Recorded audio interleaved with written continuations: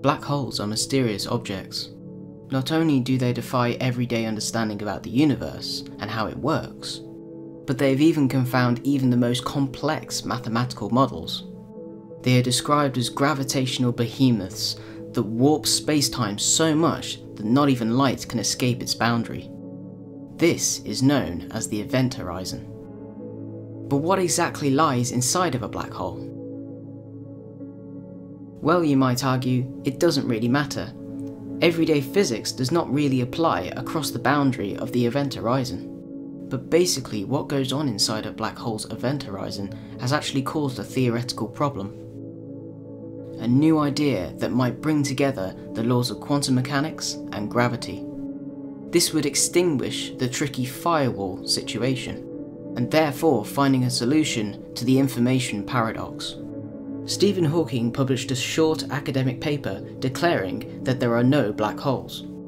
Of course, Hawking wasn't actually saying that black holes didn't exist, but that the overall physics of the black hole's event horizon needs some tweaking. When tackling this problem on whether or not black holes destroy information, they found that if black holes do not destroy information, that information can then escape through the evaporation of the black hole via Hawking radiation. There must be a raging inferno just inside the event horizon called the firewall. And here lies the paradox. If we view a black hole as an object governed by general relativity, then should an unfortunate astronaut be dragged across its event horizon, they shouldn't experience anything out of the ordinary. The astronaut will simply just drift through into the black hole where eventually intense tidal forces spaghettify them. But if we view black holes governed by quantum mechanics, and they conserve information, that astronaut will immediately get destroyed by the firewall.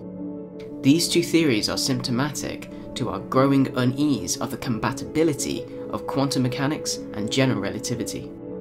And black holes have become the front line of this battle. Perhaps the black hole's event horizon isn't a definite boundary that theoretical physicists think it is. Perhaps the event horizon should be replaced with an apparent horizon, a consequence of chaotic mess of information inside of the event horizon. The controversial view of black holes is that it is composed of two key components, the singularity and the event horizon. Anything else is just details. The event horizon is the distance from the singularity where the gravitational forces are so strong not even light can escape. The singularity is an infinitely dense point where all the matter of the black hole is concentrated. However, the singularity assumes that there is no quantum structure that can compete with the inward forces created by gravity. And here is where we spot the problem. Yes, once again, the black holes became the background for quantum mechanics and gravity. This gives a potential solution to the firewall problem. By throwing out the concept of a singularity and replacing it with an extreme class of star, the Planck star. Looking at this problem from a different perspective, you can look at models of a collapsing universe. The opposite to a Big Bang is known as the Big Crunch. The fundamental quantum structure of the universe prevents an infinitely dense singularity from forming. The collapse of the universe therefore reaches a fundamental density, causing a universal collapse to rebound or bounce. Does this mean that we can use a similar model to describe a black hole? If a massive star explodes into a supernova, creating a black hole in its wake, what if the superdense material that formed the black hole actually didn't form a singularity? Of course the material would be incredibly dense, but the object in the core of the black hole still has its structure. The inward force of gravity is counteracted by the quantum structure of the Planck density. We therefore have to assume that matter can be compressed at these scales.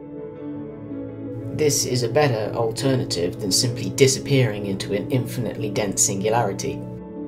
This contraction stops at the Planck density, and this creates a Planck star. Its collapse and bounce would occur rapidly, from the perspective of a Planck star, it will be a very short lived affair. But to the outside observers elsewhere in the universe, As space-time surrounding the Planck star gets extremely warped, time dilation makes the black hole seem static and unchanged. Over time, as the black hole loses mass to Hawking radiation, and the Planck star continues to expand after the rebound, the event horizon of the black hole will slowly contract, eventually reaching its surface of the Planck star contained within. All of the information the black hole ever consumed over its lifetime will suddenly be released to the universe. And by this, it solves the information paradox.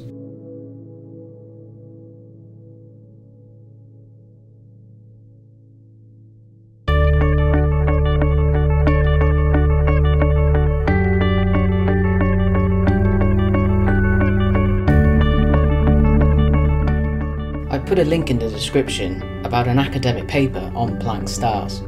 Also I put in the description the definition of the word spaghettification. This is a word that was actually created for something that falls into a black hole. Pretty cool.